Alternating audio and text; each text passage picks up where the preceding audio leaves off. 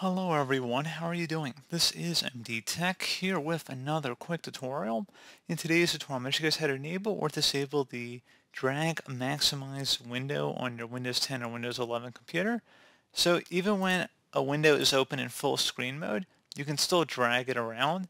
So if you'd rather just disable this functionality, I'm going to show you guys how to do that. And without further ado, let's go ahead and jump right into it.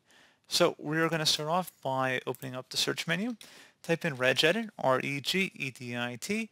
Best match, come back to registry editor. Go ahead and right click on it and select run as administrator. If you receive a user account control prompt, select yes. And before you proceed in the registry, I would suggest you create a backup of it. So if anything were to go wrong, you could easily restore it back. And In order to create a backup, it's very simple. All you have to do is select file and then export. File name, I'd recommend naming it the date in which you're making the backup set export range to all, and save it to a convenient and easily accessible location on your computer. And if you ever need to import back in from that backup, all you have to do is select File and then Import and navigate to the file location. So again, pretty straightforward process, and now we're ready to begin. So we're going to start off by double-clicking on the HKey Current User folder. Do the same thing now for the Control Panel folder. Same thing for Desktop, so go ahead and double-click on that.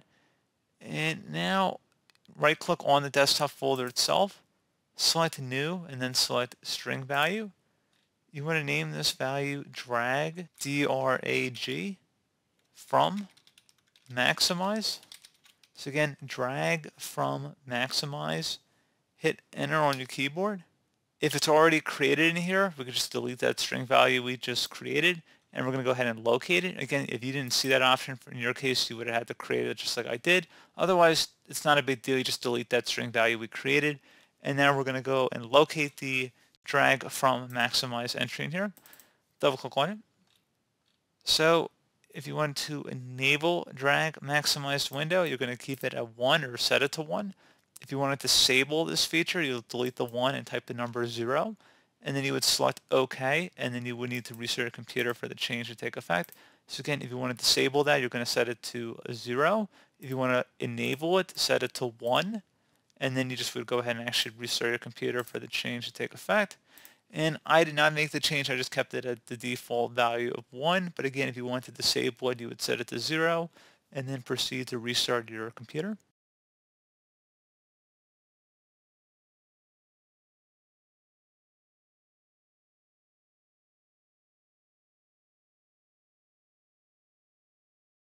So there you go guys, pretty straightforward process and as always thank you for watching. Do hope I was able to help you out and I do look forward to catching you all in the next tutorial. Goodbye.